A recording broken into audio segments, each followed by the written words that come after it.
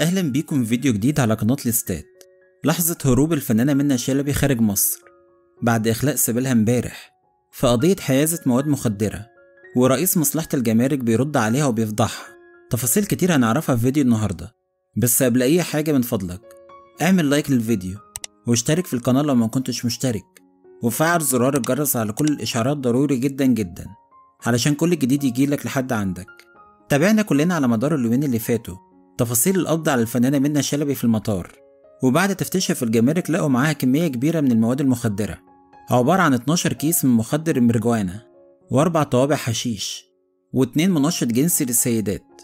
في البداية قالت منى إن الحاجات دي بتتباع بره عادي وإنها متعودة إنها تستخدمها هي ووالدتها علشان تهدي أعصابهم. لكن أثناء التحقيق معاها في النيابة أنكرت منى كل الكلام ده وقالت إنها دخلت أوضة للتفتيش. خرجت منها لقت الحاجات دي مرصوصة. وإن الحاجات دي ما تعرفش عنها أي حاجة وإن شنطتها تم تفتيشها بعيد عنها وما شافتهمش وهم بيفتشوا الشنطة بتاعتها.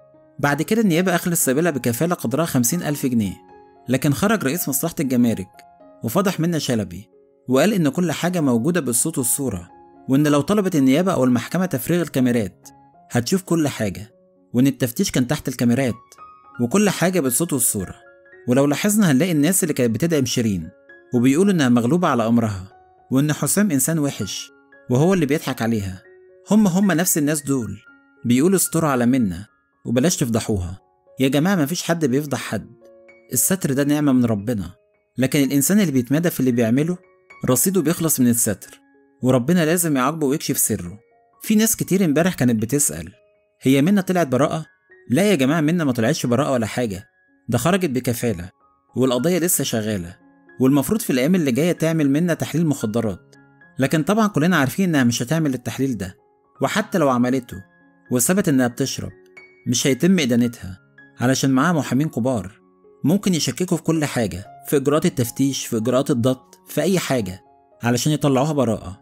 لكن لو ثبت فعلا إنها مدانة وإن الحاجات اللي جايباها دي كانت للإتجار أو جايباهم لحد مش للتعاطي أو للاستخدام الشخصي هتكون العقوبة كبيرة جدا. وممكن توصل للإعدام أو للسجن 25 سنة. علشان كده في الساعات اللي فاتت انتشر خبر إن منا هربت وخرجت بره مصر. لكن يا جماعة الكلام ده مش حقيقي. منا لسه موجودة في مصر وممنوعة من السفر لحد ما القضية دي تخلص. في النهاية أنا بشكركم جدا لأنكم كملتوا معايا الفيديو لحد دلوقتي. على وعد بلقاء جديد.